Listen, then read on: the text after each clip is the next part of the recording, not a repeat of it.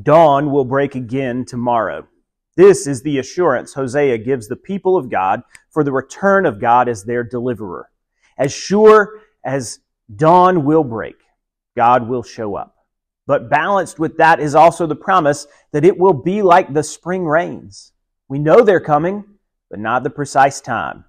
And so we are exhorted to press on in seeking the knowledge and love of God that is available to us in discipleship, prayer, and worship.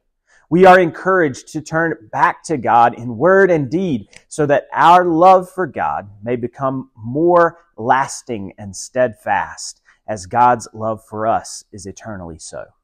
And so that we might be prepared when God breaks into the world once again.